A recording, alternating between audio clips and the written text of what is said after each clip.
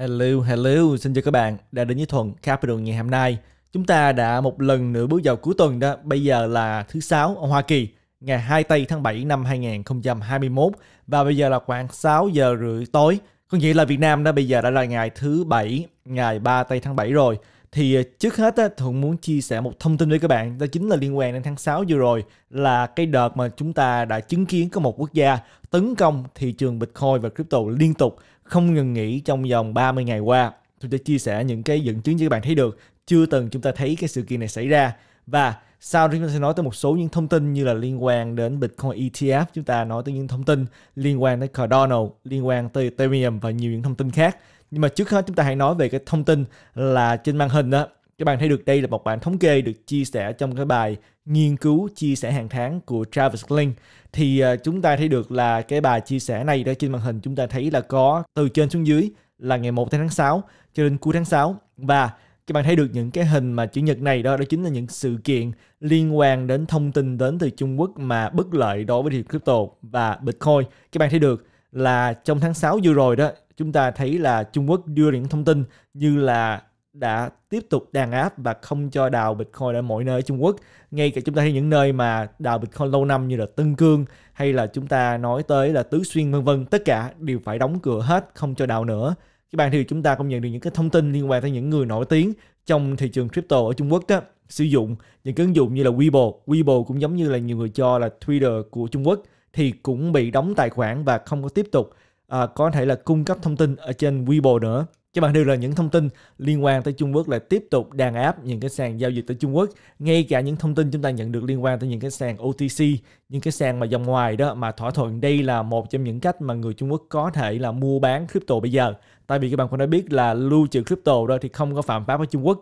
Nhưng mà mua bán thông qua sàn bình thường đó thì lại không được. Tại vì từ năm 2017 Trung Quốc đã có cái ý định cấm rồi. Thì à, sau đó các bạn thì được là nhiều người thì một là họ dùng VPN để sử dụng những cái sàn quốc tế còn hai đó là họ dùng những cái sàn OTC để mà thu mua. Thì tất cả những thông tin bất lợi liên tục đưa ra là Trung Quốc không cho phép và cấm, dẫn đến là chúng ta thì được là tổng cộng trong vòng một tháng chỉ có 30 ngày. Trong tháng 6 thôi, chúng ta đã có 25 thông tin. Một tháng chỉ có 30 ngày mà đã có 25 thông tin bất lợi liên quan tới thị trường crypto và Bitcoin rồi. Thì đương nhiên những điều này các bạn thấy được dẫn đến nhiều người lo sợ. Nếu như mà không thể tiếp tục đào nữa thì người ta một là ngưng đào hay là người ta phải uh, di chuyển cái máy đào đó hay là người ta sẽ phải uh, tiếp tục chờ đợi. Một ngày nào đó chính phủ cho đào trở lại tất cả đều dẫn đến là những thời đào phải bán bitcoin của mình. Các bạn thì được là những thông tin liên quan tới là không cho những cái sàn hoạt động nữa thì dẫn đến nhiều người dân ở Trung Quốc lo sợ và họ rời khỏi thị trường chúng ta thấy được là trong vòng một tháng thôi, chúng ta thấy là Trung Quốc đã có thông tin liên tục 25 lần để mà tấn công thị trường crypto và Bitcoin. Và các bạn thấy được là không chỉ riêng là Trung Quốc mà chúng ta thấy được những thông tin đến từ những quốc gia như ở Hoa Kỳ. Tôi sẽ nói tới một lát nữa. Nhưng mà chúng ta trở lại để mà nói tới Trung Quốc đi. Thì à, đây là một cái tài liệu được chia sẻ trên CryptoQuant đó, thì các bạn thấy được dẫn chứng rất rõ ràng. Cái đường mà màu xanh dương này đó là cái số lượng Bitcoin lưu trữ trong những cái ví của những cái hội đào, thì các bạn thấy được là rất rõ ràng là khi mà chúng ta thấy Trung Quốc bắt đầu có những cái thông tin xấu liên quan tới là không cho phép tiếp tục đào Bitcoin ở Trung Quốc. Các bạn thấy là Trung Quốc không thấy thị trường crypto, đó không phải là một cái ờ, điều gì mới lạ hết trong vòng bao nhiêu năm qua. Rất nhiều lần Trung Quốc đã ra những cái luật để mà gây khó dễ cho thị trường này. Và thậm chí các bạn có nên nhớ là năm 2018 đó, những cái nơi mà tổ chức hội nghị, những cái à, nơi như là khách sạn đó là không được cung cấp nơi để cho tổ chức những hội nghị liên quan đến crypto. Thì à, năm nay, năm 2021 này đó, thì cái sự đàn áp đã mạnh hơn những năm trước đó. Thì các bạn thấy là cái đường màu xanh dương này cũng có cái đường đi xuống. Các bạn thấy được là cái xu hướng đi xuống một thời gian. Đây là cái dẫn chứng cho thấy được là những cái ví mà lưu trữ crypto trong ví của những thời đào đó đã mất đi một số bitcoin. Đương nhiên, đây là dấu hiệu của thể là họ đã bán bitcoin của mình. Nhưng mà sau đó thì các bạn thấy được là đường màu xanh dương này đã coi như ổn định lại. Có nghĩa là bây giờ thì chúng ta thấy được là cái lực bán đến từ những cái à, hội đào thì đã giảm xuống. Có thể là họ đã bán cái số lượng cần thiết để có thể là di chuyển máy đào của mình. Dùng đó để làm chi phí trong thời gian tới đây để có thể là mở một cái nơi khác để tiếp tục đào bitcoin nhưng mà cái tốc độ bán của những thời đào đã giảm xuống dựa theo cái tài liệu này được chia sẻ ở trên Crypto Khoan. Nhưng mà các bạn thấy được là Trung Quốc không phải là quốc gia duy nhất có những cái thông tin xấu các bạn thấy được là đây là một cái bài viết cũng rất là phổ biến được chia sẻ rất nhiều trong thời gian gần đây. Các bạn thấy là bài viết này chỉ ngày hôm qua mà thôi, được chia sẻ bởi một cái trang web báo rất nổi tiếng là Reuters. Thì trang web này nó nói là có 7 cái người lập pháp ở những cái quốc gia Trung Mỹ. Những quốc gia Trung Mỹ là quốc gia nào? Đó chính là những quốc gia như là El Salvador, Honduras và Guatemala. Thì đây là những cái quốc gia mà họ nói là có 7 nhà lập pháp trong những quốc gia này là dính dáng tới những cái cuộc cáo buộc liên quan tới là tham nhũng, cản trở công lý hay là gây cái sự nguy hiểm đối với cái nền dân chủ thì à, các bạn thấy được là cái tấm hình đại diện đó các bạn có thể là google bài viết này và tấm hình đại diện không những là bài viết này mà những cái bài viết mà trích dẫn từ bài viết này đó thì cũng sử dụng cái tấm hình đại diện. Đó chính là tấm hình của tổng thống của nước El Salvador chính là Nayib Bukele. Thì cái điều mà các bạn cần phải nên lưu ý đây đó là trong 7 người trong danh sách mà chính phủ Hoa Kỳ đặt vào à, cái sự cáo buộc liên quan đến là cản trở công lý hay là tham nhũng đó thì trong 7 người này đó thì khi mà đã được đưa vào danh sách đó, thì sẽ bị cái à, visa của Hoa Kỳ sẽ bị hủy bỏ nhưng mà trong 7 người này đó là không có tên của tổng thống Nayib Berkeley. Thì tại sao họ lại sử dụng hình của tổng thống Nayib Berkeley? các bạn thấy được là khi mà nói tới nước El Salvador đó, thì có ba tên được nói đến. Thứ nhất chính là bộ trưởng bộ lao động Rolando Castro. Sau đó là chánh văn phòng nội các, đó chính là Carolina Ricinos và cuối cùng đó chính là bộ trưởng bộ an ninh và quốc phòng Rogelio Rivas thì các bạn thấy được là ba người này đó không có tên của à, tổng thống Nayib Berkeley, nhưng mà thay vì để là những cái bộ trưởng của El Salvador thì họ để là những cái người làm việc cho Nayib Berkeley của chính quyền Nayib Berkeley thì tại sao như vậy? Tại vì họ muốn là khi mà các bạn đi tìm kiếm những thông tin liên quan tới El Salvador, liên quan tới Nayib Berkeley, thì bài viết này nó sẽ có mặt và các bạn thì những người đó mà chỉ nhanh chóng nhìn cái tựa đề thôi. Đó chính là những người bị cáo buộc bởi Hoa Kỳ liên quan tới tham nhũng và cản trở công lý. Thì người ta sẽ nghĩ là trong đó có tên của tổng thống như Berkeley mà trong khi mà trong danh sách 7 người này là không có tên của Neil Berkeley, chỉ nói là có ba người làm việc dưới cái chính quyền của Neil Berkeley mà thôi thì uh, thực ra mà nói là chỉ có hai người thôi cái người mà liên quan đến là bộ trưởng bộ quốc phòng uh, Rogelio Rivers là cựu bộ trưởng bộ quốc phòng chứ không phải là người hiện tại. Cho nên các bạn thấy được là đây là những cái chiêu trò mà chúng ta thấy sử dụng rất là nhiều trong cái giới báo chí để cho làm cho những người nào mà không có chú tâm đọc hay là không có muốn đọc chi tiết đó dễ dàng có những cái suy nghĩ lệch về thị trường này tại vì sao? Tại vì họ biết là một trong những cái hình tượng mà được nhiều người tìm kiếm bây giờ, đó chính là như Berkeley liên quan tới việc là El Salvador đã chấp nhận Bitcoin làm tiền tệ chính thức của quốc gia. Đây là điều mình thường muốn chia sẻ với các bạn. Thì đối với những điều này đó, thì giá cả phải như thế nào? Nhưng mà trước khi mà chúng ta đi vào thêm chi tiết thì cũng như thường lệ, tất cả chỉ vì mục đích thông tin và không được xem là lời khuyên đầu tư và nếu như mà các bạn thích cái video này hay là các bạn thích những cái à, video tương tự các bạn đừng quên nhấn cái nút like và đăng ký vào kênh để giúp kênh được tiếp tục phát triển. Và những bạn nào mà chưa có theo dõi Thuận Capital trên những mạng xã hội, các bạn có thể theo dõi bằng cách là bấm vào cái link ở bên dưới cái video này để tìm thấy những thông tin chính thức như là Telegram channel, Facebook và Twitter để các bạn có thể theo dõi và nhận được những thông tin mới nhất và nhanh nhất. Thì thực ra mà nói khi mà chúng ta nhìn vào biểu đồ của nến ngày đó, tuy là chúng ta bây giờ đã bước vào thứ sáu, thì nhiều bạn ờ, thì cũng ờ, không thích cuối tuần, tại vì các bạn thấy được là trong vòng năm cuối tuần qua đó, cuối tuần đến thì giá lại đâm, cuối tuần đến thì giá lại đâm, cuối tuần đến thì giá lại đi đâm xuống mạnh thì có nghĩa là giá cả đi xuống liên tục trong vòng năm cuối tuần qua ít ra thì cho đến thời điểm bây giờ là 6 giờ 35 tối ở Cali, thì chúng ta vẫn chưa thấy dấu hiệu là cuối tuần này có cái đợt đâm. Thật ra, giá cả vẫn tiếp tục trong phạm vi từ 30 tới 40 ngàn trong thời gian các bạn thấy được là 45 ngày vừa qua. Và khi mà chúng ta chuyển qua thành biểu đồ của nến tháng đi, thì các bạn đã thấy được đó là tháng 6 mặc dù là một tháng mà chúng ta thấy là giá cả dao động cái mức cao là 41.289 và cái mức thấp đó là khoảng 28.864 nhưng mà trên thực tế, mở và đóng lại đó thì cái giá mở là 37.320 và đóng lại là khoảng 35.000 ở trên sàn Combe có nghĩa là tháng 6 mặc dù là có nhiều thông tin rất xấu nhưng mà các bạn thấy được cuối cùng thì kết thúc tháng 6 đó là chỉ xuống có 6,12% mà thôi. Đây chúng ta nói tới giá của Bitcoin trên sàn Coinbase. Cái tháng mà đi xuống mạnh đó, chính là cái lúc mà các bạn thấy là tháng 5 khi mà cái giá cao đó là 59.000 562 và xuống thấp là khoảng 30.000 và nếu chúng ta tính là từ mở cửa đó của tháng 5 đó là 57.900 thì các bạn thấy là kết thúc tháng 5 đó là cái mức giá chỉ có là 37.000 mà thôi, có nghĩa là đã xuống tổng cộng là 35% thì cái tháng mà xuống mạnh là chính là tháng 5 chứ không phải là tháng 6 đó là cái tình hình của tháng 6 mới đây. Giá cả trên căn bản các bạn thấy được là tuy là có nhiều thông tin xấu nhưng mà vẫn tiếp tục giữ được từ cái mức là 30 tới 40 ngàn đô chúng ta bây giờ hãy nói tới một cái thông tin thì à, đối với nhiều bạn thì nhiều khi muốn biết là từ đây trên cuối năm giá cả sẽ như thế nào, thì có một cái cuộc bỏ phiếu đó được chia sẻ bởi CNBC thì đây là cái cuộc bỏ phiếu về giá Bitcoin đó là hàng quý. Thì à, đây là cái thông tin mới nhất các bạn đang nhìn thấy trên màn hình, tại vì chúng ta vừa kết thúc tháng 2 mới đây thì họ đã hỏi những người mà bỏ phiếu đó là không phải là những người bình thường, mà là những cái người à, liên quan tới là trong những cái công ty đầu tư. Thì à, các bạn thấy được là cuối cùng cuộc bỏ phiếu này đã cho chúng ta thấy được là như thế nào. Thì đối với những người mà đã được à, mời để bỏ phiếu đó, thì kết quả các bạn thấy được là 44% nghĩ là giá Bitcoin sẽ kết thúc năm nay là dưới 30 ngàn 25% nghĩ là kết thúc ở mức là khoảng 40 ngàn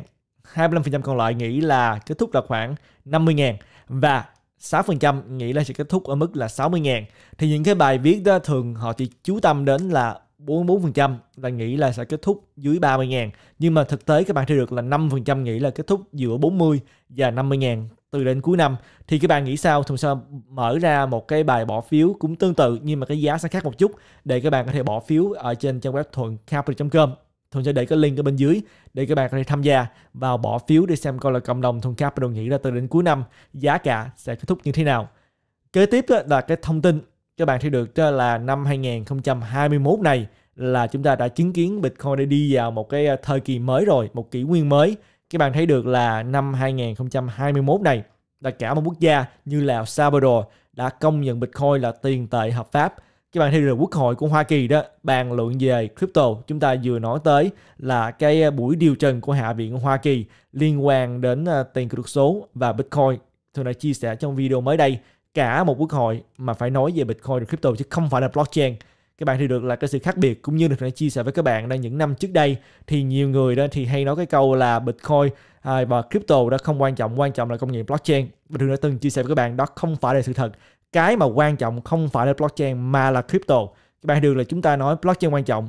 không có ý nghĩa gì hết á. Tại vì các bạn thì được blockchain, nhưng mà chúng ta nói tới blockchain nào? Blockchain của bitcoin, blockchain của ethereum, blockchain của cardano, blockchain của neo, blockchain của đồng nào? Chúng ta phải nói cho rõ. Và mỗi blockchain đó có một hệ thống thưởng phạt khác nhau và có một cái giao thức đồng thuận khác nhau cho nên cái mà quan trọng không phải là blockchain, mà là blockchain nào và đồng nào chạy trên blockchain đó đó mới là tương lai. Bây giờ chúng ta đã thấy rất rõ ràng, nhưng mà năm 2007 2018 đó, khi mà Thuận nói tới thì rất nhiều bạn không có thích và nghĩ là Thuận đã nói sai nhưng mà các bạn thấy được là trên căn bản, điều quan trọng không phải là blockchain, mà là crypto. Điều này các bạn thấy được là càng ngày càng rõ ràng hơn và càng rõ ràng hơn và chúng ta thấy được là ngay cả Fed, Cục Dự trữ Liên bang của Hoa Kỳ, đây là một cái ờ, tweet được chia sẻ bởi cái chi nhánh St. Louis của Fed. Thì đã nói những gì? Nói là các bạn thấy được là bạn đang nghe nói tới Bitcoin, đã nghe nói tới Dogecoin. Nhưng mà bạn đã nghe nói tới Fedcoin hay chưa? Tìm hiểu thêm về Fedcoin. Và các bạn thấy được là ngay cả Fed cục dự trữ liên bang của Hoa Kỳ cũng muốn PR à, mượn thương hiệu của Bitcoin. Cho chúng ta thấy được là cái sự phổ biến về cái sự à, nghe nói tới cái thương hiệu Bitcoin như thế nào rồi. Và nhiều bạn ở thường dịp Fedcoin nên thực ra mà nói là chúng ta chưa có Fedcoin và hiện bây giờ chúng ta vẫn không có những cái thông tin chính xác ngay cả gần đây đó. Trong những cái à, cuộc à, hội nghị đó thì à, Fed đã nói là có thể là Fed sẽ sử dụng những cái đồng ổn định trên thị trường hiện bây giờ. Tại vì những đồng ổn định đó nó, nó sẽ dựa theo cái số lượng của đồng đô la phát hành. Thì Fed vẫn có thể tiếp tục là có quyền để mà quản lý đồng đô la nhưng mà Fedcoin là một cái khái niệm mà thôi chúng ta thực sự chưa biết được là Fedcoin có hay là không có. Hoa Kỳ vẫn chưa nói rõ là Hoa Kỳ sẽ có một cái tiền kỹ thuật số riêng cho quốc gia hay là không. Và nếu như có đi nữa đây thì đây là một cái đồng ổn định. Nhiều bạn hỏi thường là có nên đầu tư hay không? Đây chỉ là một đồng ổn định mà thôi. Nếu như mà có. Điều kế tiếp đó, tôi muốn chia sẻ với các bạn. À, trước khi chúng ta nói tới thông tin liên quan tới SEC và Bitcoin ETF cùng một điều nữa là các bạn thấy trong cái bài viết mà kế tiếp đó Thuần sẽ chia sẻ với các bạn liên quan tới à, uh, JP Morgan thì chúng ta sẽ thấy được là cái tầm quan trọng bây giờ liên quan tới hệ thống DeFi đang phát triển và chúng ta thấy được là có rất nhiều người có thể kiếm được lợi nhuận không chỉ riêng là tham gia vào DeFi mà có thể tham gia vào những công ty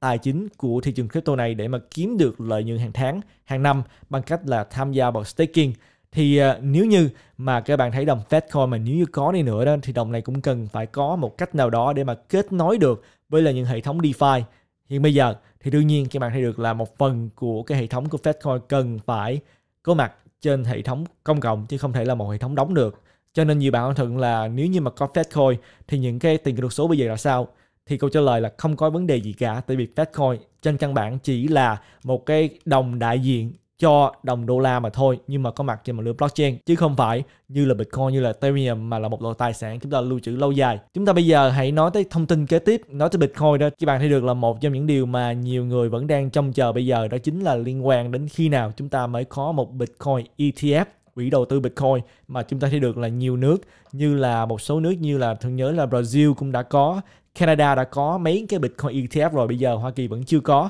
Và trong vòng nhiều năm qua đó, Hoa Kỳ cứ liên tục từ chối cái việc là có một quỹ đầu tư Bitcoin ETF thì à, hôm nay chúng ta nhận được một cái thông tin, một trong những quỹ viên mà thôi đó chính là quỹ viên SEC Hester Pierce cho biết là đáng lý đâu là đã có một cái Bitcoin ETF từ lâu rồi. Tại vì đối với là Hester Pierce, chúng ta nên có càng nhanh càng sớm. Mỗi một ngày mà trôi qua đó, thì cái lý do mà SEC đã sử dụng trong quá khứ để không có chấp thuận một Bitcoin ETF ngày càng yếu đi. Các bạn có thể biết là có hai vấn đề được nêu ra tại sao mà SEC ban quản lý chứng khoán Hoa Kỳ không có chấp nhận một Bitcoin ETF. Thứ nhất đó chính là liên quan tới việc là lưu trữ đâu cho an toàn, làm sao để có thể là đảm bảo là những công ty mà phát hành quỹ đầu tư Bitcoin ETF, có nghĩa là cổ phần của họ sẽ được giao dịch trên những cái sàn à, chứng khoán đó, thì làm sao có thể chắc chắn được là họ sẽ lưu trữ Bitcoin mà chống lại những cái sự việc như là bị mất tiền hay là bị ăn cắp những đồng Bitcoin đó. Thứ nhì, đó chính là liên quan tới cái vấn đề là thao túng thị trường. Thì điều đầu tiên bây giờ đã không còn là vấn đề nữa, tại vì bây giờ chúng ta có rất là nhiều những cái công ty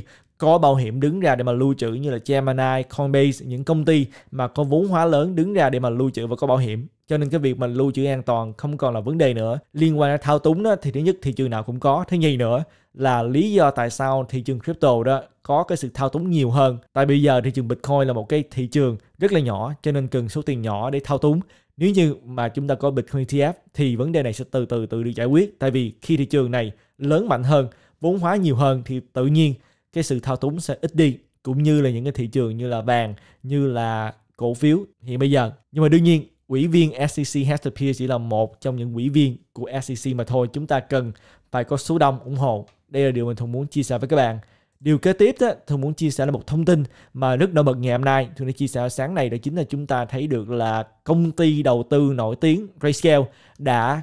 cho Cardano vào trong danh mục đầu tư của quỹ đầu tư hỗn hợp. Đường chia sẻ thêm về cái à, đề tài này một lát nữa. Nhưng mà điều mà các bạn cần nên hiểu đó là không phải đây là cái số tiền mới họ dùng để mà mua Cardano mà họ nói là họ đã bán một số những đồng cũ để có thể là điều chỉnh lại phần trăm trong quỹ đầu tư này. Thì chúng ta thấy được quỹ đầu tư hỗn hợp đó là một quỹ đầu tư mà trong đó có nhiều đồng chứ không phải là một đồng riêng lẻ. Thì chúng ta thấy được đây là cái quỹ đầu tư hỗn hợp của những đồng lớn. Thì chúng ta thấy được là trong đó chúng ta có đồng Bitcoin, Ethereum, Cardano, Bitcoin Cash, Litecoin, Chainlink. Thì 67% trong quỹ này đó là đầu tư vào Bitcoin, Ethereum là 25% và Cardano tuy chỉ có 4,26% mà thôi nhưng mà đã là cái đồng mà chiếm vị trí thứ ba nhiều nhất trong quỹ đầu tư này. Sau đó là Bitcoin Cash, Litecoin và Chainlink. Đương nhiên, đây là một cái thông tin mà dẫn đến là nhiều bạn rất là vui tại vì các bạn thấy là Grayscale là công ty mà đầu tư lâu dài, đầu tư dài hạn và họ phải có cái lòng tin vững chắc trước khi mà họ đầu tư bất cứ một đồng nào. Và các bạn thấy được là tại sao thầy nói là Cardano tuy chưa được có một cái quỹ đầu tư riêng, nhưng mà đây cũng là một cái bước tiến rất là tốt, tại vì đây không phải là quỹ đầu tư riêng cho Cardano, mà là quỹ đầu tư hỗn hợp của nhiều đồng. Thì à, chúng ta nhìn vào trang web chính thức của Grayscale đó, thì điều kế tiếp mà chúng ta muốn thấy đó chính là chúng ta đi vào những cái à, sản phẩm của Grayscale, chúng ta đi vào single asset, như là những cái sản phẩm riêng lẻ đó. Tại vì cái sản phẩm chung đó, thì cái là cái sản phẩm chúng ta mới vừa nhìn thấy là cái sản phẩm hỗn hợp chúng ta thấy là cái sản phẩm riêng lẻ đó, chúng ta thấy là có những quy đầu tư để riêng ra đi đầu tư vào những đồng, như là chúng ta thấy là chúng ta đương nhiên có đồng Bitcoin. Đó chính là quỹ đầu tư mà nổi tiếng như người biết là Bitcoin Investment Trust. Của Grayscale chúng ta có đồng à, Basic Attention Token, đồng BAT chúng ta có quỹ đầu tư cho Bitcoin Cash, Chainlink, Decentraland, Ethereum Ethereum Classic, Filecoin, Horizon, Litecoin Lipier Stellar Lumen và Zcash đây là cái quỹ đầu tư riêng lẻ chỉ đầu tư một cái đồng duy nhất đó mà thôi chúng ta muốn thấy là Cardano có mặt ở đây nhưng mà ít ra Cardano đã có mặt ở trong quỹ đầu tư hỗn hợp Grayscale Digital Large Cap Fund. Thông tin kế tiếp tôi muốn chia sẻ với các bạn đó là một thông tin cũng được nói tới rất là nhiều. Đó chính là liên quan tới ngân hàng JP Morgan. Các bạn cũng đã biết là Jamie Dimon là CEO của JP Morgan, một trong người nổi tiếng mà liên tục tấn công thì crypto này năm 2018 nói là crypto không có giá trị, nó là Bitcoin là một cái trò lừa đảo, bất cứ ai đụng tới Bitcoin đều sẽ bị khai trừ bởi ngân hàng JP Morgan. Nhưng mà sau đó lại có những cái thông tin là JP Morgan đã âm thầm mua khi mà giá cả đi xuống năm 2018. Thì trong cái bài viết này đã không nói tới Bitcoin mà nói tới Ethereum thì à, ngân hàng JP Morgan bây giờ lại nói là tin tưởng là Ethereum sẽ là à, một trong những cái đồng rất là lớn sau này. Tại vì sao? Tại vì Ethereum là mạng lưới Proof Stake có thể tham gia vào staking và họ tin tưởng là staking là một cái ngành rất là lớn. Bây giờ đó thì họ chẩn đoán là cái ngành staking đó đã có cái doanh thu lên tới 9 tỷ đô la mỗi năm và sau này càng ngày sẽ càng nhiều hơn. Họ cũng nói là những công ty mà có staking như là Coinbase đó, thì à, Coinbase họ chẩn đoán là staking đó trong năm 2022 đó có thể chiếm cái à, số lượng doanh thu lên tới 200 triệu đô la có nghĩa là tăng lên 10 triệu so với năm 2020 và vì lý do đó đó họ nghĩ là Ethereum sẽ là một trong những đồng mà có được rất nhiều lợi ích đến từ staking. Tại vì Ethereum 2.0 sẽ chuyển qua thành hệ thống Proof of Stake. Thì uh, trước hết các bạn cần phải hiểu đó là tại sao mà JP Morgan này nói như vậy. Thì đương nhiên họ trong tay đã nắm giữ rất nhiều Ethereum rồi. Thứ nhì nữa là họ cần phải tiếp tục có những cái sản phẩm hấp dẫn để mà thu hút người. Các bạn thấy được là để mà thu hút những nhà đầu tư. Tại vì bây giờ đó các bạn thấy được là nhiều người không có giữ nhiều tiền trong ngân hàng. Tại vì sao? Tại vì các bạn giữ tiền ngân hàng bây giờ là tiền lãi hầu như là không phần trăm và các bạn lại bị cái phần trăm lạm phát liên tục thì tiền càng càng mất giá. Thứ nhì nữa là các bạn à, không thể mà mua những cái à, sản phẩm như là những cái sản phẩm mà ổn định như là money market. Tại vì cái phần trăm lợi nhuận cũng không có là bao nhiêu hàng tháng. Thì trong cái tình hình mà lãi suất thấp như vậy đó, thì những ngân hàng họ vẫn đang đi tìm kiếm một loại tài sản khác mà có lãi suất thì các bạn thấy được là bây giờ đó là những ngân hàng lại chú tâm đến những cái đồng mà có thể staking được và Ethereum là một những đồng mà chúng ta từ từ nghe nói tới rất là nhiều trong cái thời gian là mấy tháng qua. Tôi nghĩ là cái sự tham gia bây giờ liên quan tới hệ thống của Ethereum đó, từ những cái công ty lớn đã rất nhiều rồi. Chúng ta bây giờ mới thấy được là từ từ những công ty lớn mới bắt đầu là nhấp nhấp những thông tin tốt liên quan tới Ethereum. Và đương nhiên, đây là một thông tin mà nếu như bạn là một người mà đầu tư Ethereum lâu dài cũng cần nên hiểu là bây giờ đó, nhiều người thì nghĩ là Ethereum hoàn toàn có khả năng để mà xóa ngôi Bitcoin trở thành đồng mà có cái vốn hóa lớn nhất. Các bạn nghĩ sao? Thì các bạn hãy comment ở bên dưới. Và đây là tất cả những thông tin mà Thuận muốn chia sẻ với các bạn trong cái video ngày hôm nay. Và những bạn nào muốn tìm hiểu những ưu đãi dành riêng cho cộng đồng Thuận Capital, thì các bạn có thể tìm hiểu bằng cách ta bấm vào cái link ở bên dưới cái video này để tìm thấy những ưu đãi như là giảm 20% phí giao dịch khi mà tham gia vào sàn Binance, hay là các bạn có thể tham gia vào sàn margin nổi tiếng Bybit bonus là 200 đô cộng với lại hai chương trình lớn trong tháng 7 này. Và các bạn có thể tìm hiểu những sàn như là sàn margin LMT sàn FTX, sàn Binance US. Đây là một sự lựa chọn cho bên nào mà thích giao dịch altcoin tại Hoa Kỳ hay là sàn Coinbase, ứng dụng BlockFi. Đây là ứng dụng lending có lãi mà các bạn có thể gửi tiền kỹ thuật số và nhận hàng tháng. Và CryptoQuant, đây là ứng dụng hỗ trợ biểu đồ và phân tích dữ liệu on-chain mà chúng ta thường hay sử dụng. Và đây là tất cả những thông tin mà Thuận muốn mang đến cho các bạn trong video ngày hôm nay. Thuận hy vọng là các bạn nhận nhiều giá trị trong video này. Và Thuận sẽ hẹn gặp lại các bạn trong các video kế tiếp. Tạm biệt các bạn.